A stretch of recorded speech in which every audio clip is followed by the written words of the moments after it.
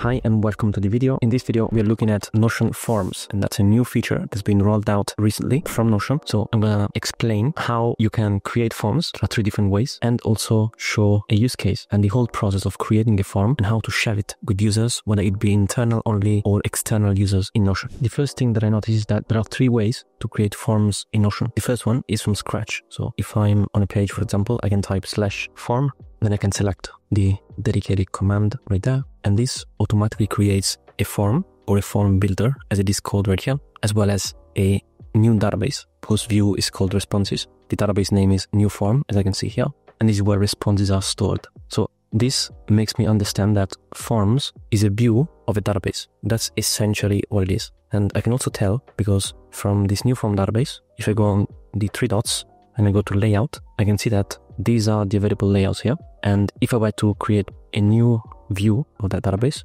one of the available views is form. So I can't turn an existing database view into a form, but I can create a new database view that is a form. Now, once I have the form, then there is the form builder right here, and I can set up the form. That is the next stage of the video. For now, let's see also how you can create forms in existing databases. For example, let's go into this database here. That's a database that contains contacts. And if I want to create a form from here, I can select plus, then form.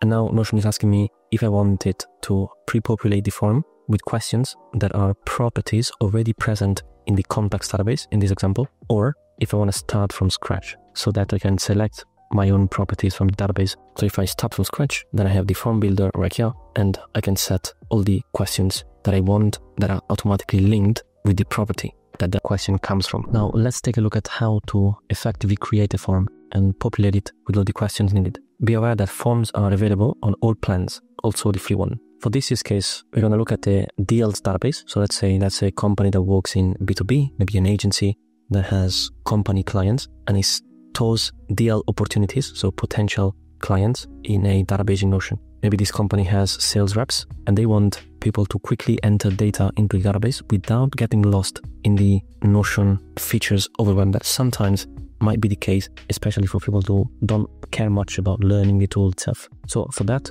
I'm gonna open the deals database and create a forms view and see all the configuration options that we have there. Okay, here is the deals database. There are many views here and I'm gonna add an additional one. And this is gonna be a new form that shows up here directly. And from this, I will start from scratch. The first thing that I do is rename this view, add a deal. Okay, then give the form a title. That's the actual title that people are gonna see when they submit the form. Then I can add an icon and a cover image as well. Okay, next up, I can add the description. It can be useful to explain what this form is about. For now, I'm to leave it empty. And then here I can see there is some configuration options for sharing the form externally versus internally. Going to see that later once the form is completed. For now, let's create all the fields needed. So the first thing that I see is the name. And when I click on it, I can see it is highlighted, similar to how the groups within the new layout builder are highlighted when you customize the layout and I made a dedicated video about the Notion Layout Builder recently. So here is the name of the deal, and I can make it required if I like. In this case, that must be filled out, otherwise we don't know what that deal is about. Then we can add a description here, and this is to describe what this question means, if that's needed. So here, for example, we could say the name of the company plus the month, e.g. Nike, November 2024. So descriptions are usually a good way to explain exactly what, how we want the data to be formatted, especially if the data is free text, like in this case, the name, so that the data that comes into the database is standardized as much as possible. And that makes it easier to clean up the data to make sure that it is always clean and uh, useful. And that if we export it, maybe to import it into another tool, we don't need to do too much manipulation. We can allow a long answer that is without any character limit. That's not useful for name which needs to be just a short identifier. Then the question type is title.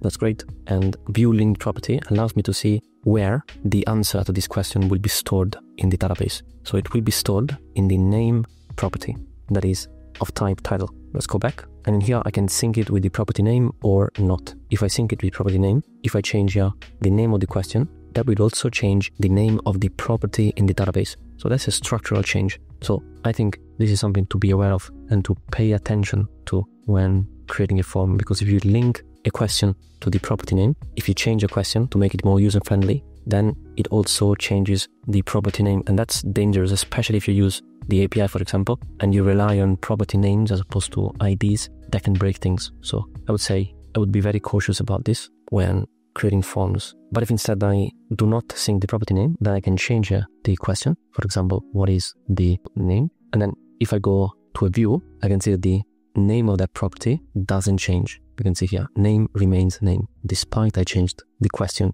related to it in the form. And now essentially I can add additional questions. I click the plus button, I can see existing properties here that I can add to the form and I can see new questions, meaning new database properties essentially. So it's like adding a new database property that then gets synced with the form question. In this case, I want to look at last contacted. So that's the last contacted date. Okay. And then the owner. So who is the deal owner here? And you can see here, it would be nice to directly pass as a variable the respondent of the form. That is not possible right now, at least to set a user to a field automatically directly in the form. It is possible, however, if you create an automation, assuming that sales reps have a Notion account so that um, they do not fill out the form anonymously. So we're gonna set the owner, we're gonna set notes, and here we can make it a long answer like that. And we're gonna also allow the value that's required as the monetary value of the deal and the source. And you can see, ideally,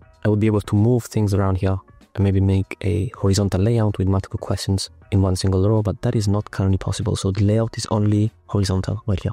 Okay, let's say that's enough for now. That's a good form. Let's go on the three dots here. I can see new question allows me to add a new question. That's good. Automations allows me to access the automations editing panel. There is an automation in this entire database. That's why here is one. Then I can customize form. And if I do that, I can customize the color of the form. In this case, I'm going to make it red so that it aligns with the overall template. Then I'm going to here set submit. I think that's a good text. And I can set the confirmation title and body. For example, as a title, I would say success deal successfully added to the database. Okay, these are all the configuration options that I see. Now let's go to the share menu. I'm going to do change here. This opens up the share menu for the form. And there are three options when it comes to sharing.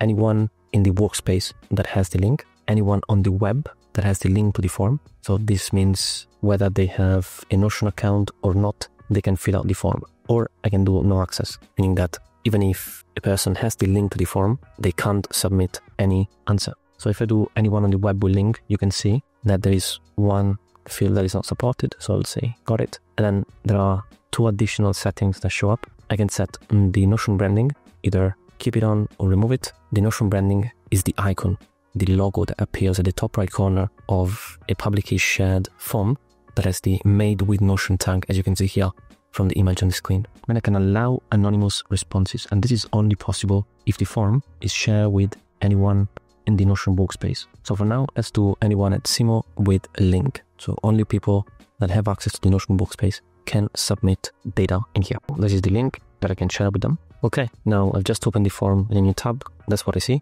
I'm submitting responses to user, and then here I can enter information. When I can select date, the owner, I can select myself, or I can leave it empty. Next up, I'm going to show you how we could set up an automation to fill out the owner automatically. Then there's the value, source, and submit. Now the success message that I saw. If I want, I can view my response, and this will open up the Notion page in the deals database. So because I have access to the database, I can see the response right here. And these are all the properties populated. You can see also the owner has been populated and that's because it has the setting that the default is created by. So in that case, this would solve the issue if you want to populate the owner automatically because as long as the user has a Notion account, then they would be listed as the owner because of this setting. But if you didn't have this setting on, then creating an automation that whenever there is a new deal, adds the owner to the property based on the person who submitted the form that would be useful and resolve that issue for you. And to show you how to implement that automation, if you are interested, you can first set a new property that is created by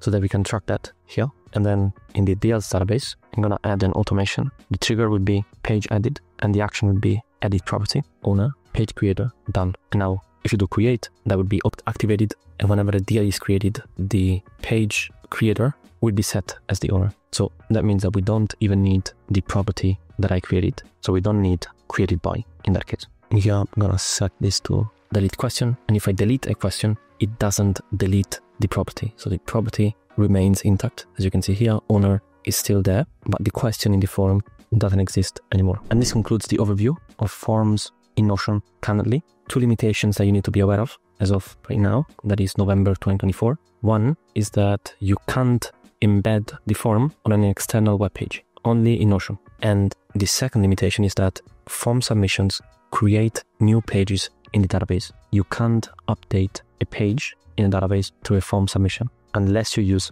automation for that. That is outside of the scope of this video. Thank you for watching this video. If you have questions, let me know in the comments below or contact me via the link in the description. See you soon.